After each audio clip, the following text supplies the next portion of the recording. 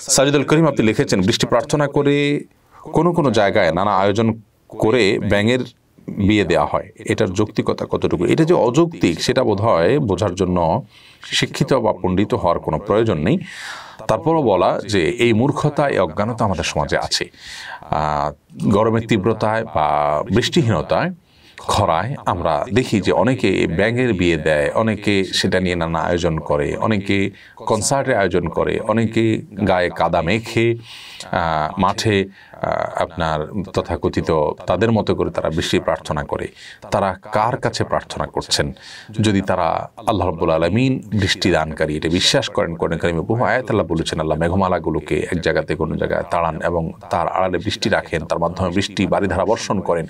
এই যে ব্যাপারটা, আল্লাহ তালার আয়াতকে যদি কেউ বিশ্বাস করে, যদি কেউ মুসলমান হয়ে থাকে, তাহলে সে প্রার্থনা করবে। আল্লাহর কাছে ইস্তেস্কা এবং বৃষ্টি প্রার্থনার সালাতের মাধ্যমে, সাধারণ দোয়ার মাধ্যমে।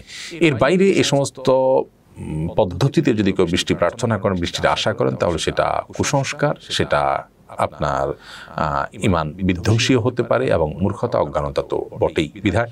এ ধরনের অযৌক্তিক এবং অজ্ঞানতা থেকে আমাদেরকে বেঁচে থাকতে হবে।